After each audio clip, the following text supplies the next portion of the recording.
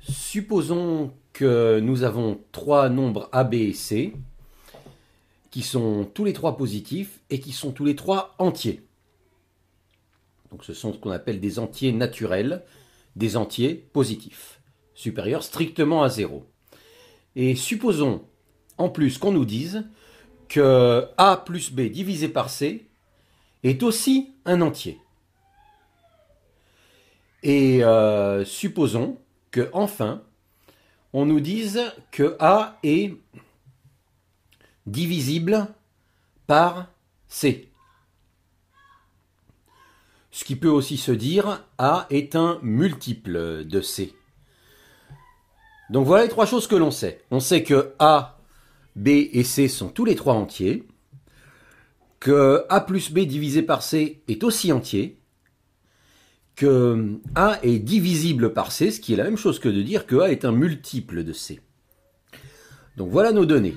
Et la question qu'on se pose, c'est est-ce que dans ces conditions-là, B, le nombre B, doit aussi être un multiple de C? Donc la question, est-ce que B doit obligatoirement également être un multiple de C?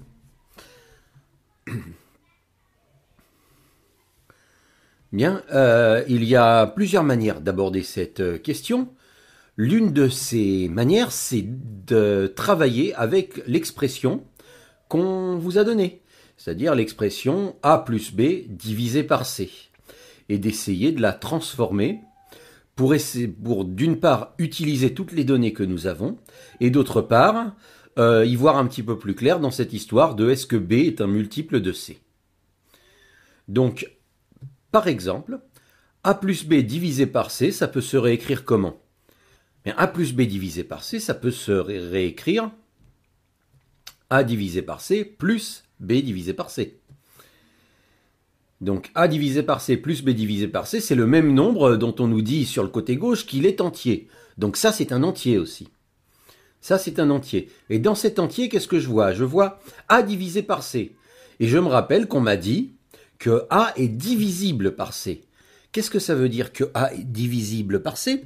Ça veut justement dire que ce A divisé par C, cette première fraction qui est écrite, c'est aussi un entier.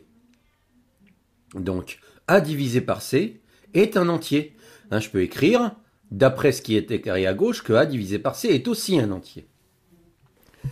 Et donc, est-ce que mon B divisé par C peut être autre chose qu'un entier? Eh bien non. J'additionne un nombre à un entier et j'obtiens un entier. A divisé par C plus B divisé par C est entier. A divisé par C est entier. Hein. Pour obtenir un entier, je dois ajouter un entier.